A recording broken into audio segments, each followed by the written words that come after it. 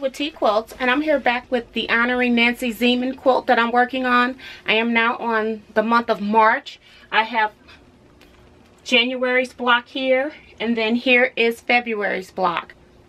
The links to this block of the month will be found down in the description box. So please look down there if you would like to participate in this block of the month.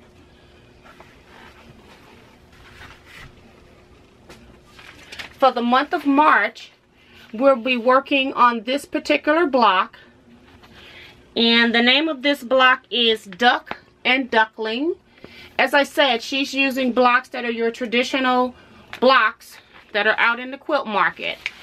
The one thing I do notice about her blocks, and I'm trying to get up close so you can see it, is she's making this block so that it's five pieces across as well as five pieces down. So she's making a 25 patch and I am going to be condensing the seams because I don't like when seams change when I'm using any kind of a print where you can see the seam line. So therefore, what I'm going to be cutting for this quilt top is I'm going to be using my triangulations to piece my four half square triangles. So I have my paper already cut to make four of those. And then for these this area here, these are other half square triangles, but then she's got a square here. I'm going to combine that red piece into one large half square triangle. So I'm going to cut two six and seven eighth inch squares and then I'm going to cut it once diagonally to yield my four pieces and then for these little white pieces that I need I need to cut four three and seven eighths inch squares and cut once diagonally the final pieces I'll need are these pieces here. I'm going to combine this. She used two three and a half inch squares. I'm going to cut one piece that's a three and a half by six and a half. So that I need four of those. And then for my center, I will need a three and a half inch square. So I do have my pieces cut. Let me zoom in. So this is my centerpiece. I'm using kind of like a swirly, hairy, Santa Claus beardy kind of white fabric. These will be my rectangles. And for my large half square triangles, I'm using this fabric here. And then I am repeating fabrics for my half square triangle units and then I have my paper there to be pinned onto that. So again, I showed you in the January's video how I use triangle on a roll paper. So you can go to that video to see what's being done with that. And then I will come back once I have stitched my half square triangles.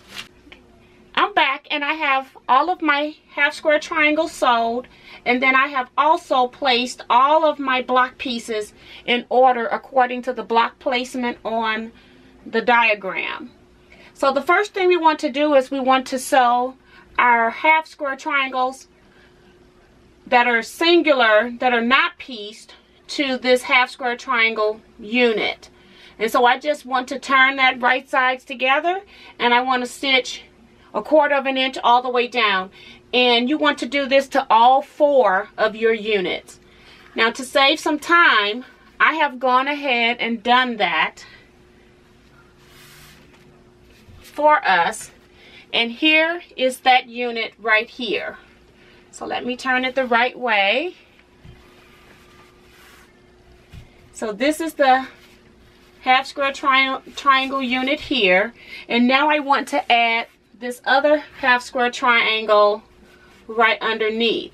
So I would flip this up and sew one quarter of an inch. And again, you want to do this to all four of your units.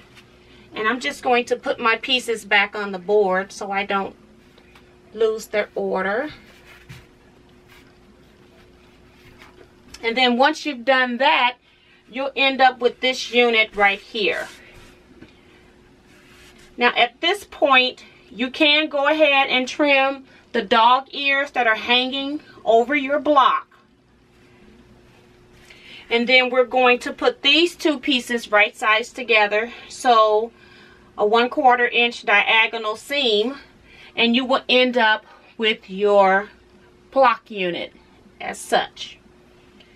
And then I'll show you on the back where I have trimmed my little dog ears away.